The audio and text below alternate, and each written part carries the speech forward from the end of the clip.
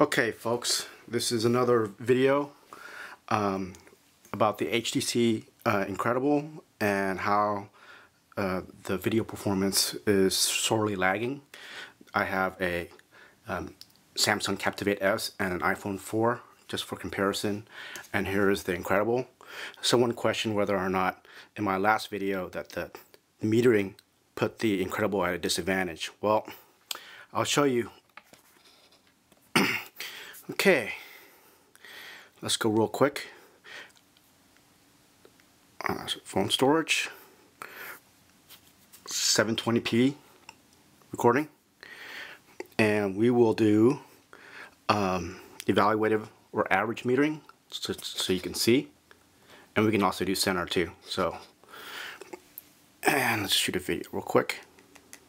So this is the video recording from the Incredible. Notice how it changes the light regardless. So this is not spot metering. See how it changes?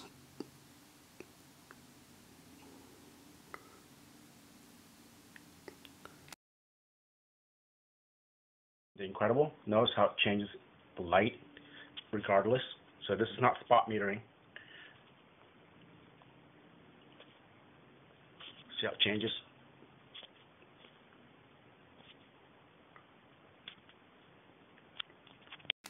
I'm going to go to, oops, I'm going to go to center metering.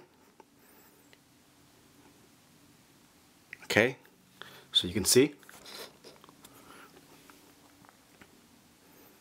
Hit record. I'm going to focus, and you can see it doing the same thing.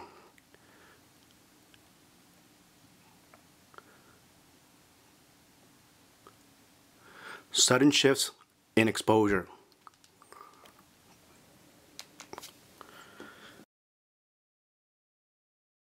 Focus and you can see it's doing the same thing.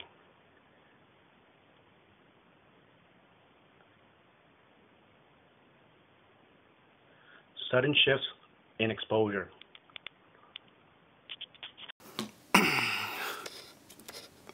Samsung Captivate doesn't have that problem.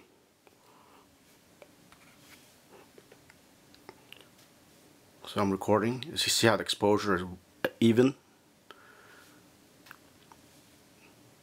And by the way, the Samsung records H.264 like the iPhone. Here's the iPhone. You can do you can do tap to focus, which also is exposure. So it works pretty good.